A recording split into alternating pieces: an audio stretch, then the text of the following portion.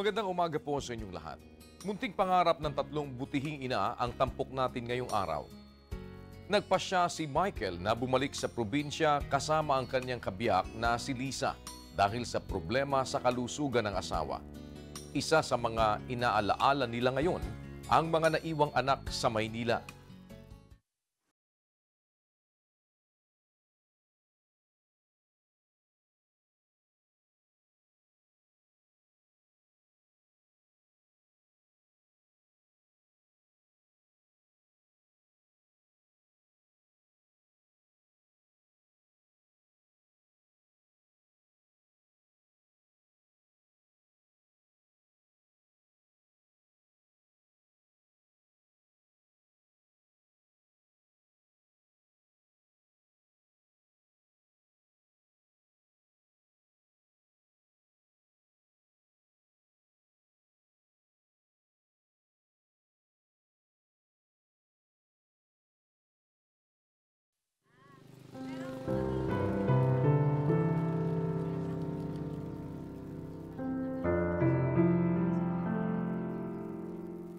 Nalaman din ni Lisa na may sakit siya sa puso pagkatapos maipanganak ang kanilang bunso.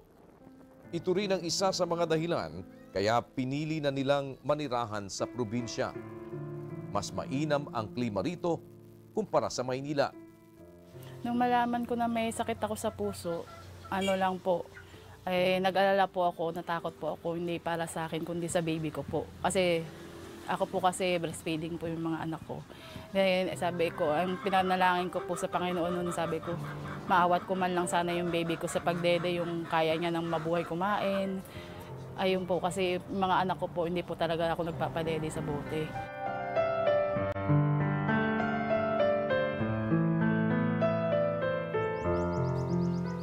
Pagdating sa bayan ng Gabaldon ay walang sapat na pang-maintenance na gamot si Liza. Gayunpaman, sa awa ng Panginoon ay hindi naman humina ang kanyang pangangatawan. Sabi po sa amin ng doktor kasi kailangan nyo ng 1 million para maoperahan ka kasi tatlong baradong valvula yung ano sa'yo o operahan. Niresetahan po ako ng gamot. Sabi ko, kahit yung gamot na yan, sabi ng doktor, ano, hindi natin alam kung hanggang kailan tatanggapin ang katawan mo. Maybe 3 years hanggang isang taon. Yun lang po yung tinaning sa akin ng doktor. Kaya ang ginawa po lang namin no, lagi po kami nananalangin. Nung nanganak po ako dyan sa bunso po namin, pabalik-balik na po ako yung sakit ko po sa ospital po. Yung rayuma ko po dati, yung parang hindi na po ako makalakad, buong katawan po siya. Mula ulo po hanggang paa. Hanggang sa na, na natanggal po siya sa trabaho. Tapos nag-decide na po kami na umuwi po dito.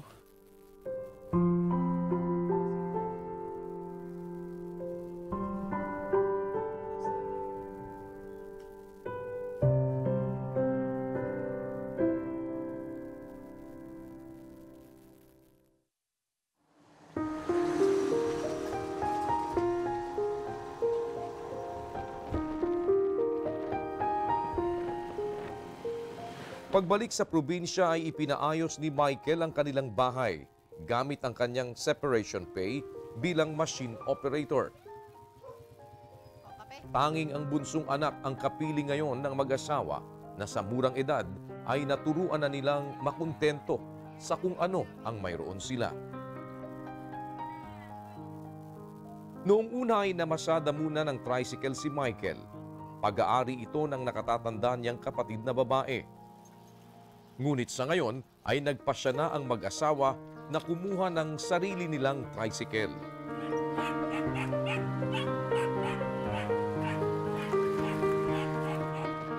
Dalawang taon na ngayong ipinapasada ni Michael ang kanilang tricycle bilang service ng mga estudyante. Ito ang pinanggagalingan ng 350 pesos kada linggo niyang kinikita na siya namang nagsisilbing budget ni Lisa para sa kanilang mga pang-araw-araw na gastusin. Pagkatapos maihatid ang mga estudyante sa eskwelahan, ay itinutuloy na niya ang pamamasada na nagbibigay ng dagdag na kita hanggang 150 pesos sa maghapon. Marunong ding magmasahe si Michael. Kabilang ito sa ginagawa niya kung kakaunti ang pasahero.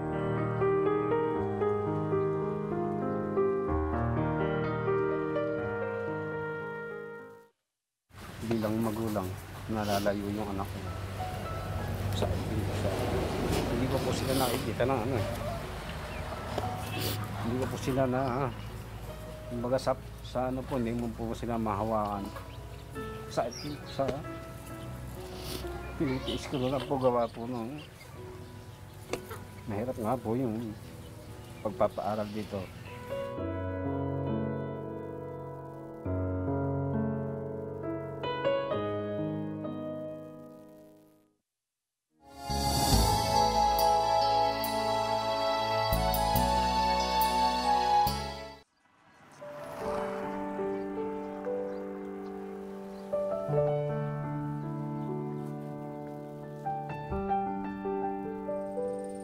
mas madalas na hindi sumasapat ang kinikita ni Michael sa kabila ng kanyang pagpupursiging magtrabaho.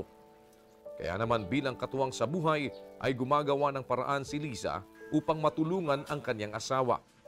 Ito ay sa pamamagitan ng pagtitinda ng lumpiang isda kung saan mula sa 500 pisong puhunan ay kumikita siya ng 300.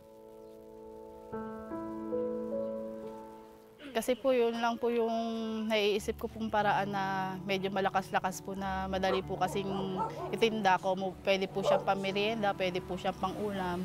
Kasi po ganun po yung sab- sinasabi ng mga bumibili po sa akin. Mabilis po naman yung kita po sa kanya.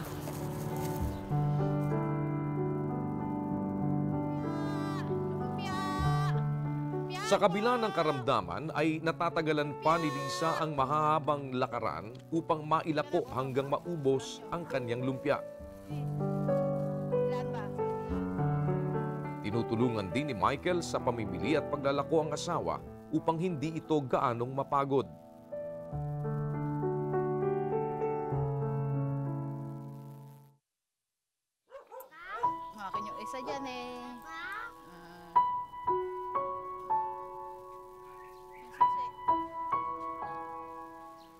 Ay natigil na sa pagtitinda ng lumpia si Liza dahil sa pagkaubos ng kanyang puhunan. Nangungutang din muna sila ng ipanguhulog sa buwanang bayad ng kanilang tricycle. Isa rin sa alalahanin ngayon ng mag-asawa ay ang sustento nila sa dalawang anak na naiwan sa poder ng magulang ni Liza sa Valenzuela City. Kung noon ay nakapagpapadala pa si Liza ng pambaon sa kanyang mga anak, ngayon ay hindi na niya ito magawa dahil sa sobrang kagipitan sa pananalapi. bilang magulang, nalalayo yung anak ko. Sa, hindi ko po sila nakikita ng ano eh. Hindi ko po sila na, ah, kumbaga sa, sa ano po, hindi mo po sila mahawakan. Sa, sa, pinitiis ko na lang po gawa po nung mahirap nga po yung pagpapaaral dito.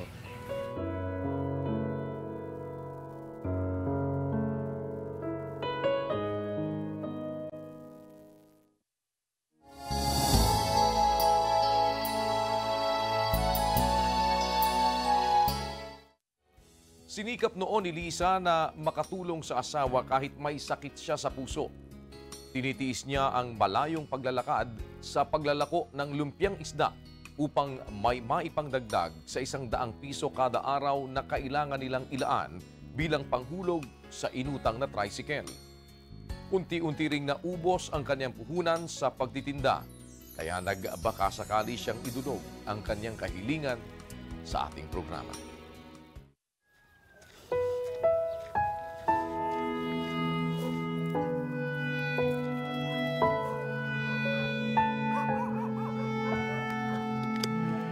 Nais ni Lisa na malinga pa rin ang kanyang dalawang anak.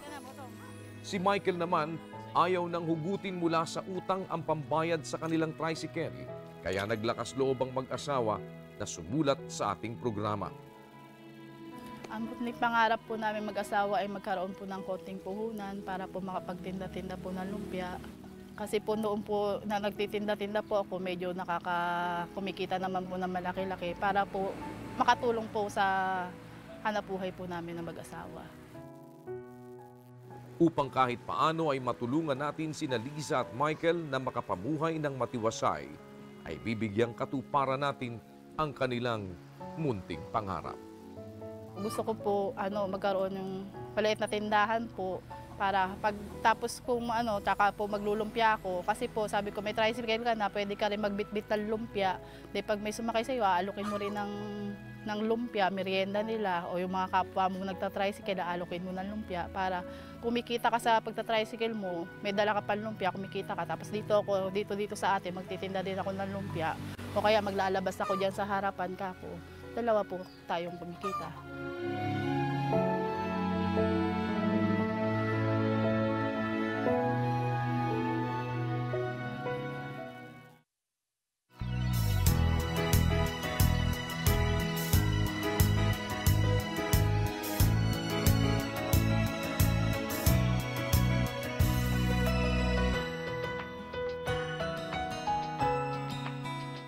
Magandang araw pong muli sa lahat ng ating mga kasambahay. Sa pagkakataon pong ito, ang grupo po ng ah, Munting Pangarap ay ah, nasa Barangay Tagumpay, Gabaldon. Sa pagkakataon pong ito, gaya ng atin pong ah, dati ng ginagawa, tayo po ay umiikot sa buong bansa upang ah, tugunan ang mga pangangailangan ng ating mga kababayan na nagpapadala ng liham kay Kuya Daniel sa pamamagitan ng kanyang palatuntunang Munting Pangarap. At kapiling po natin ang mag-asawang si Michael at si Lisa na isa po sila sa pagkakalooban ng kanilang mga ibig na pag-umpisahang hanap buhay sa pamamagitan po ng programang ito ni Kuya Daniel sa UNTV. Magandang araw po sa inyo, ah, Michael at Lisa, ano? Kapiling po nila yung kanilang isang anak. Tatlong anak ni Aling Lisa at ni Mang Michael, pero ang nakasama lang po nila ay yung isa dahil nag-aaral yung iba. At matanong lang po namin sa inyo, ano ba yung inyong ibig sanang ah, mapasa inyo na maaaring maka, makatuwang sa inyong pamumuhay sa paghahanap buhay? Konting puhunan po para po makapagtinda po ulit po ako ng lumpia. Saka maliit na tindahan po sa bahay po. Ay, ang asawa mo naman, si Michael, ano ang hanap buhay niyo po? At ah, nalaman din po ng Munting Pangarap ah, program na si Mang Michael ay hinuhulugan lang yung kanyang ah, tricycle and at the same time naman si Aling Lisa ay inuutang lang din naman yung kanyang puhunan sa pagtitinda-tinda. Kaya po sa araw na ito, sa pamamagitan po ng Munting Pangarap program ni Kuya Daniel, magiging sa inyo na po ito ano at sana'y makatulong po sa inyo hindi lamang sa inyong sariling pamilya kundi sa iba namang nangangailangan kung loloobin ng Diyos na ito po ay inyong mapagyayaman. Ano pong masasabi nyo kay Kuya Daniel? Unang-una po, marami pong salamat sa Diyos. Sa kay Kuya po. Tsaka po sa staff ng Munting Pangarap. Ayan, si Aling Lisa. Marami pong salamat sa Diyos at dininig po niya yung mga panalangin namin at kay Kuya po maraming maraming salamat po at malaking tulong po talaga sa amin po para po makapagbigay na rin po kami ng sustento sa mga anak namin na nag-aaral. Ayan, hindi lamang po yan, ano, ah, pinabibigay din po ito sa inyo ni Brother Eli Soriano na dagdag puhunan pa rin po sa inyong mga pangangailangan. Ano pong masasabi nyo kay Brother Eli? Marami pong salamat, Brother Eli. Yung una po sa Diyos. Maraming maraming salamat po kay Brother Early po tsaka happy birthday po. Ayan. At ah, tayo po ay natutuwa naman na ang ating mga kababayan ay patuloy pong naaabot ng malawak na programa na ito ni Kuya Daniel na nakikita nating malaking tulong sa kanilang mga pangangailangan. Mula sa araw na ito, ah, Mang Michael, Aling Lisa, sa inyo na po ito at sana ay mapagyaman nyo at ah, kaisa nyo po kami sa pananalangin na ito ay mapaunlad ninyo at talagang makatulong sa inyong pang-araw-araw na mga pangangailangan. Mula po dito sa Barangay Tagumpay, Gabaldon, Nueva Ecija, kapiling natin ang mag-asawang si Aling Lisa at si Mang Michael at ang buong grupo po ng Munting Pangarap. Sa pangunguna po ni Kuya Daniel Razon, ay lagi nagpapasalamat sa Panginoong Diyos sa mga pagkakataong kagaya nito na kami po ay nagiging saksi sa pag-abot ng kamay ng Panginoon sa mga taong nangangailangan. Kagaya po ni Mang Michael at ni Aling Lisa. Sa inyo pong dalawa, mag-anak, salamat po sa Diyos at sana po ay mapagyaman ninyo, pagpalain kayo ng Panginoon. Maraming salamat po sa Diyos at lagi lang natin tatandaan, hindi tayo dapat mawala ng pag-asa sapagkat ang Diyos ay lagi naman po nakatunghay sa bawat isa sa atin. Sumampalataya lamang tayo sa kanyang malaking magagawa at sa kanyang malawak na kapangyarihan. Salamat po sa Diyos and always to God be the glory.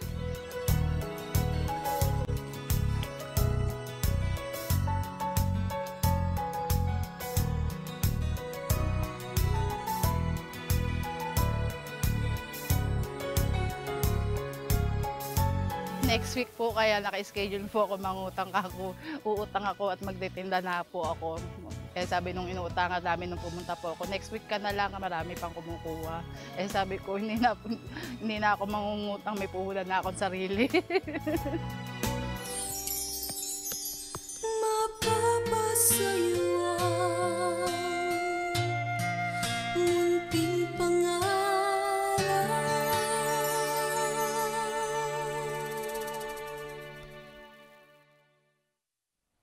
Hindi birong sakripisyo ang nararanasan ng bawat nauulila sa asawa, tulad ni Aling Jing. Kailangan niyang maging nanay at tatay sa kanyang mga anak na napipilitan naman niyang iwan upang makapaghanap buhay.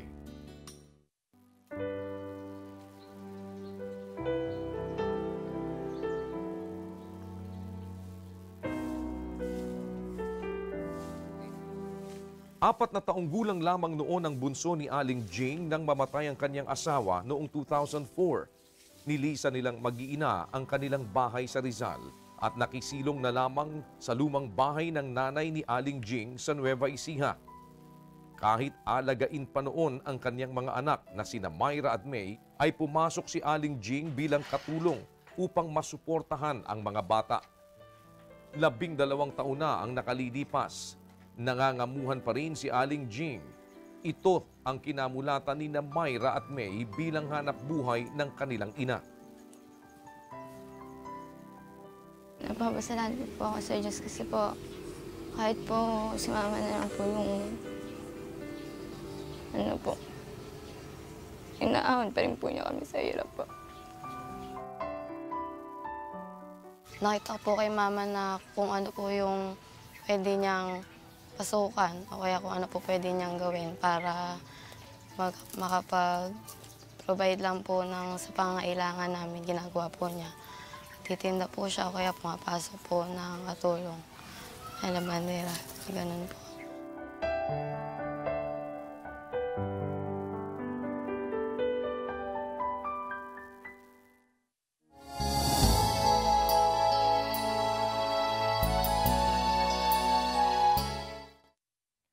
Sa hirap na kanilang naranasan, hindi mapaniwalaan ni Aling Jing na naitaguyod niya ng mag-isa ang dalawang anak sa loob ng labing tatlong taon. Bagamat nakapagtiis na sa ilang taong kapos sa material na bagay, nangangarap pa rin si Aling Jing na balang araw ay makakawala rin sila mula sa isang kahig, isang tukang uri ng pamumuhay.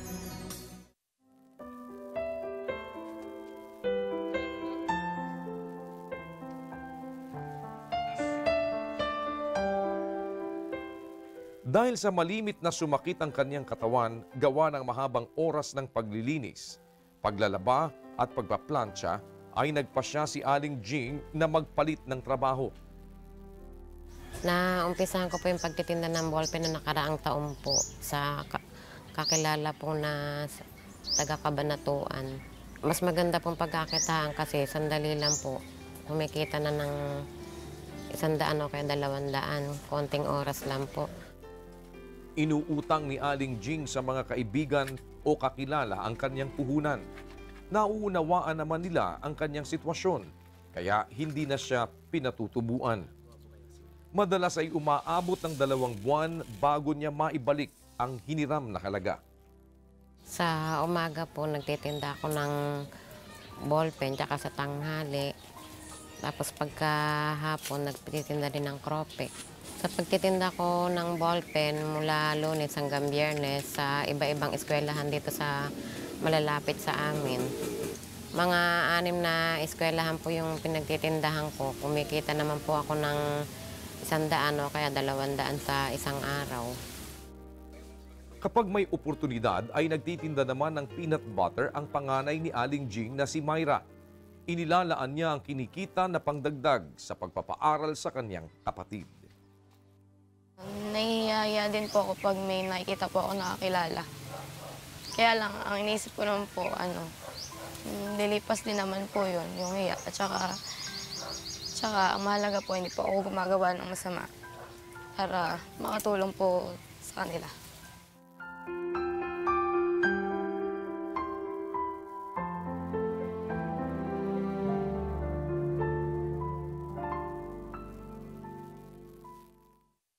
Mahirap din po kasi nangungutang eh. Nag-iipon ka pa po ng lakas ng loob.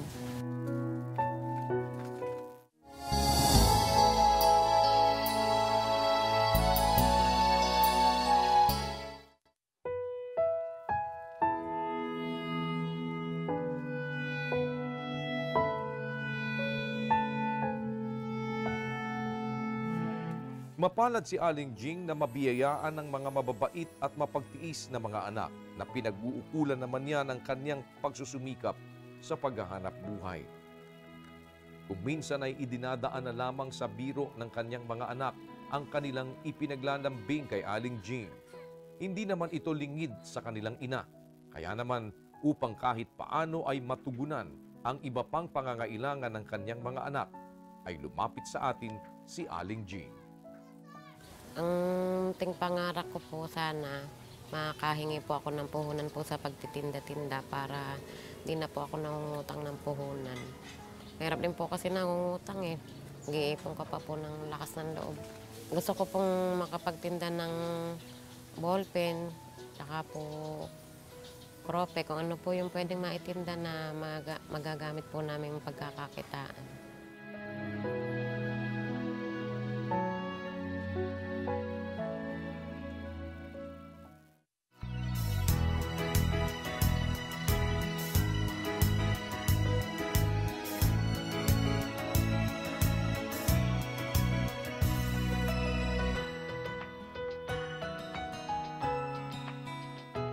Magandang araw po sa ating mga kasambahay. Salamat po sa Diyos sa kanyang patuloy na pagbibigay sa atin ng pagkakataon na maging eh, mga kawaksi po ng Munting Pangarap Program ni Kuya Daniel Razon. Sa pagkakataon pong ito, nandito tayo sa San Isidro Nueva Ecija. Kapiling natin si Nanay Jing at ah, ang kanyang dalawang anak. At ah, isa po siya sa bibigyan ng ah, munting puhunan ni Kuya Daniel sa pamamagitan ng programang Munting Pangarap. Kaya po sa araw na ito, Nanay Jing, ang inyo pong ah, inaakalang kailangan ninyo ay ipagkakaloob po sa inyo ni Kuya Daniel. Ano pong masasabi nyo kay Kuya Daniel? Salamat po sa Diyos sa pagbibigay niya po sa akin ng panghanap buhay. Napag-alaman po ng munting pangarap na si Nanay Jing, ang hanap buhay po niya ay ah, magtinda ng ballpen, ano? Saan niyo po ba ito itinitinda? Sa mga eskwelahan po sa may gate, Wala na ba kayong katulong na nagtataguyod sa inyong mga anak? panganay ko po, Wala na kayong asawa? wala na po.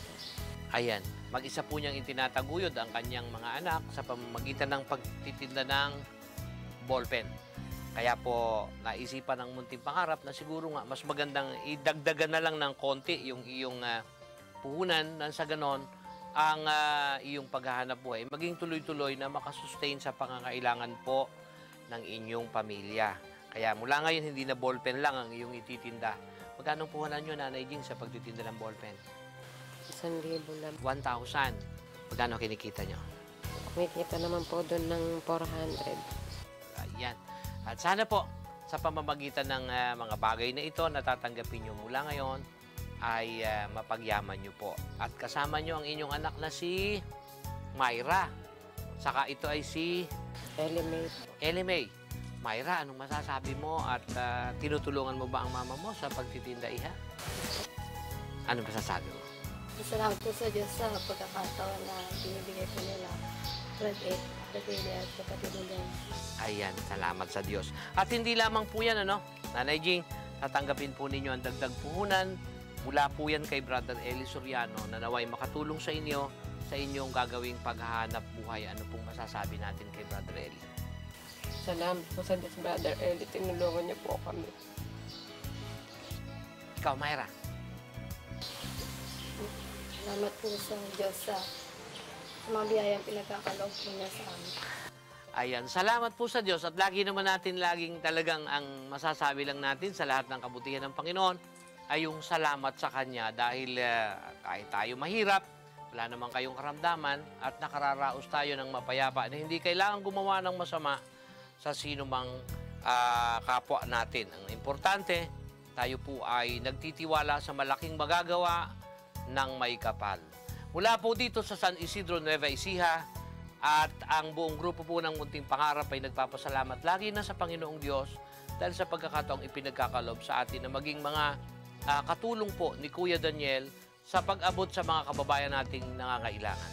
Lagi po nating tatandaan ang pagtitiwala sa may kapal ang pinakamalaki nating dapat na maging kapital. To God be the glory. Salamat po sa Diyos.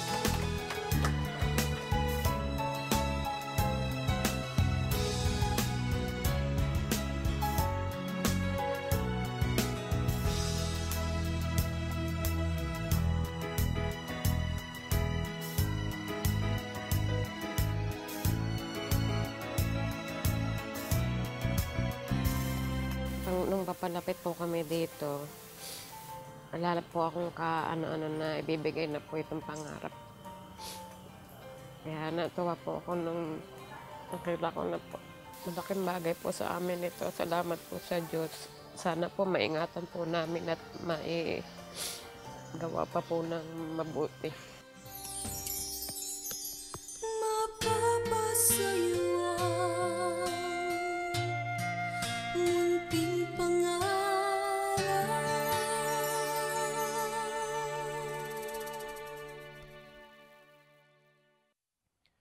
Puspusan ang paghahanap buhay ni Mang Rene, lalo na't maliliit pa ang anak nila ni Aling Nick. Madalas ay inaabot siya ng hating gabi sa daan sa paghahabol ng kita.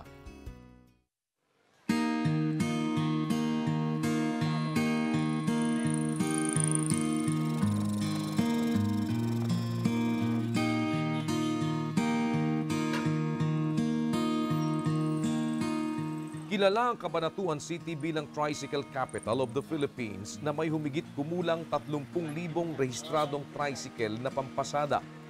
Isa na rito ang minamaneho ni Mang Rene, 42 anyos.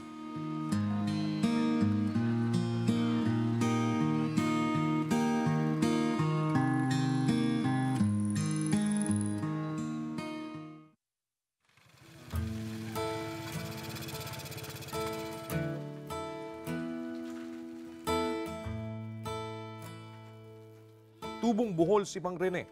Subalit sa Nueva Ecija na sila nagkakilala ni Aling Nick. Nabuhat naman sa Mindanao. Mayroon silang anim na anak na kinakailangan pa ng kanilang suporta at pag-aaruga. Nagtatrabaho po ako mga dalawang taon na po. Sa loob po ng isang araw, kumikita lang po ako ng dalawang daan. Gawa nga po ng marami pong tricycle driver po.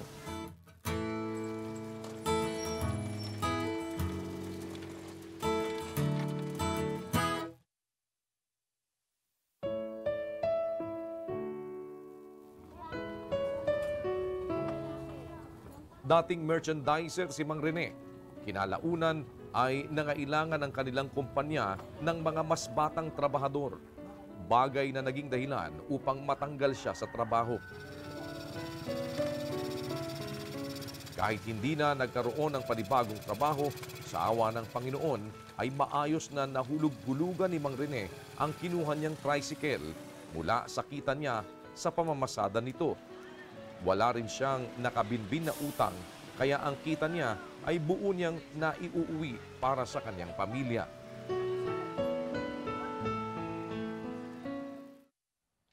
Sa labing limang taon nilang pagsasama, naging panuntunan ng mag-asawang Nick at Rene na makontento na sa buhay. Basta't mayroon silang pagkain at pananamit. Lalo naman nilang ipinagpapasalamat sa Panginoon na may nagmagandang loob upang sa isang dampa ay libre silang makapanirahan.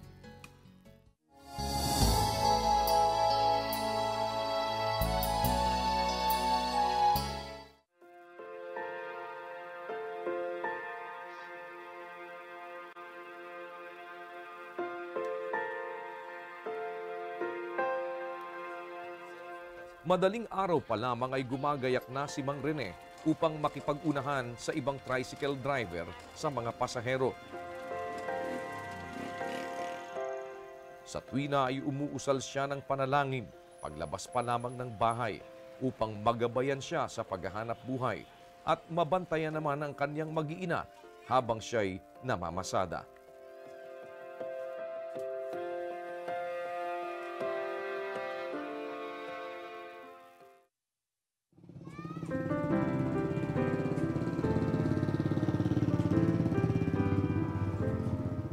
Minsang nagkaroon ng aberya ang kanyang tricycle, kaya kinailangang humiram ni Aling Nick ng salapi na pampagawa nito.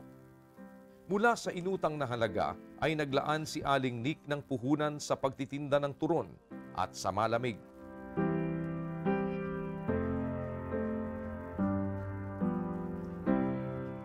Inabot lamang ng kulang isang buwan ang kanyang negosyo dahil maliit lamang ang kanyang puhunan.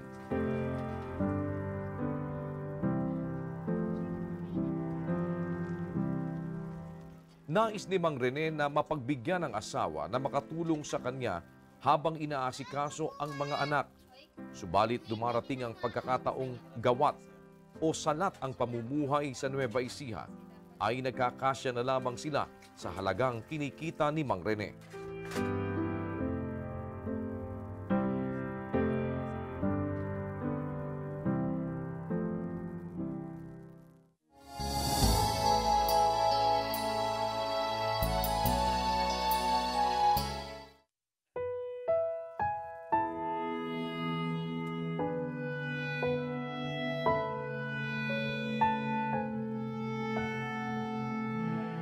Masinop sa pera si Aling Nick.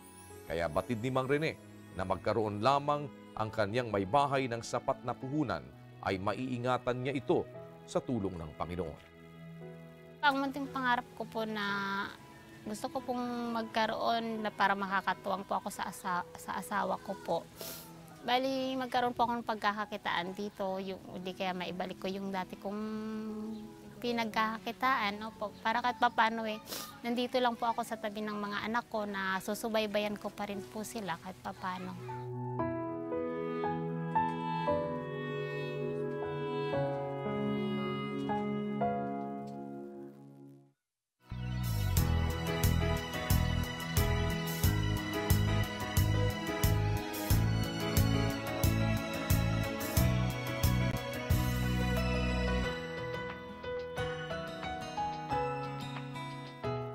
Magandang araw po sa lahat ng ating mga kasambahay. Gaya po ng ating lagi ng ah, nakikita at ginagawa. Sa pagkakataon pong ito, ang grupo po ng Munting Pangarap ay nandito sa Barangay Barrera, Cabanatuan City. At kapiling po natin ang pamilya ni Mang Rene at ni Aling Nick.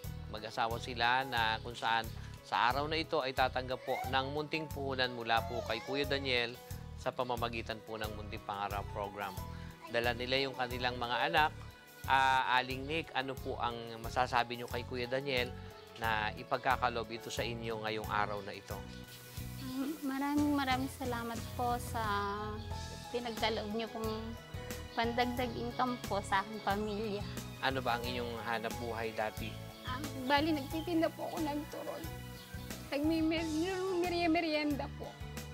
Yan, napag-alaman po natin na si Aling Nick ay taga Mindanao while si Mang Rene ay taga Bohol. Pero dito na sila nagkita sa Kabanatuan kaya dito na sila nagpundar ng kanilang ah, mapagkakakitaan para eh, itaguyod ang kanilang mga anak at ah, pamilya.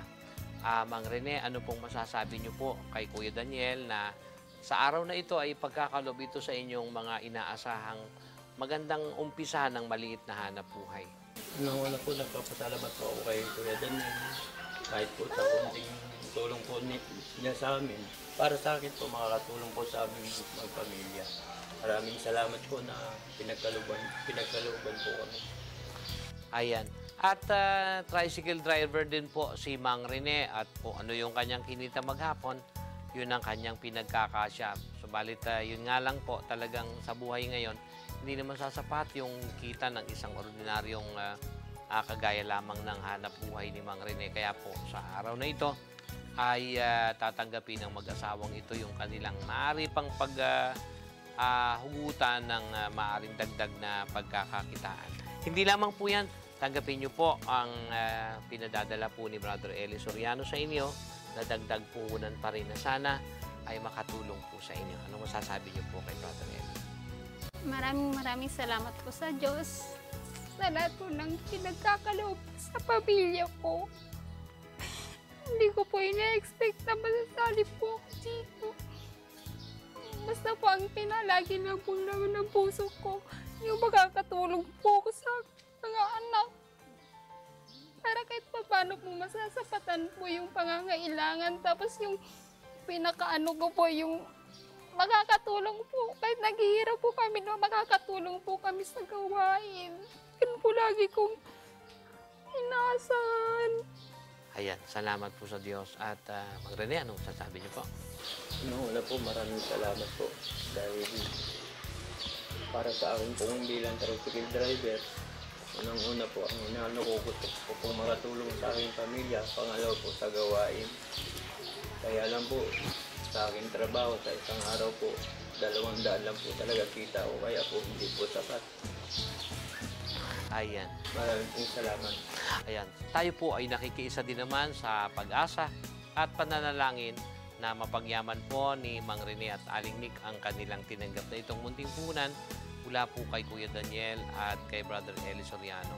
At sa pamamagitan po ng munting pangarap, sana ay magkapag-umpisa tayo ng mas ah, makatulong na maayos na paghahanap buhay sa inyong sariling sambahayan. At naway makatulong ito, hindi lamang sa inyo, pati sa mga iba din namang kagaya nating nangangailangan.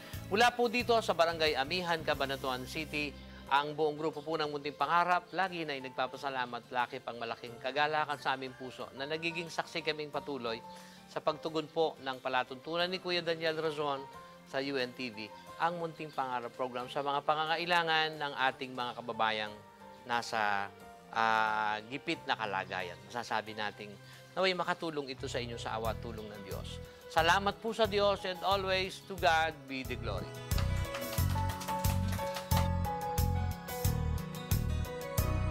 Hawakan natin lahat.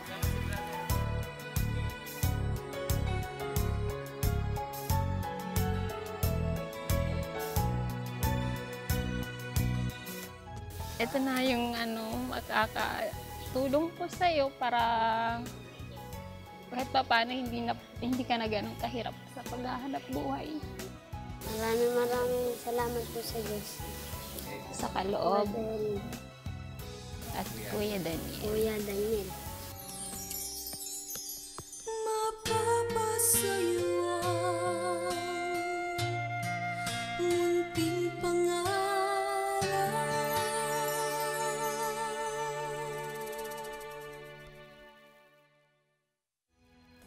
Nasaksihan ang tatlong istorya ng buhay. Sana'y nakapagdulot ito ng inspirasyon sa marami nating kababayang tila nadadaig na ng kahirapan. Maliit man na bahagi kung maituturing ang nagagawa ng ating programa, kami po ay lubos na nagpapasalamat sa Panginoon dahil ipinaunawa niya sa amin ang kahalagahan ng pagtulong sa kapwa. At salamat din sa suporta ng ating mga kasama sa ang dating daan sa pangunguna ni Brother Eli Soriano ng ADD Foundation at Kamanggagawa Foundation. Sa susunod na linggo, sa ganito rin pong oras, tatlo pang munting pangarap ang sa tulong ng Diyos ay mabibigyan ng katuparan. Ako po ang inyong Kuya Daniel. Naniniwala na ang naaawa sa dukha ay nagpapautang sa Panginoon. Asahan niyo pong palagi na sa awa at tulong ng Diyos, kami ay makakasama ninyo sa pagbuo ng inyong mga munting pangarap. Ng puso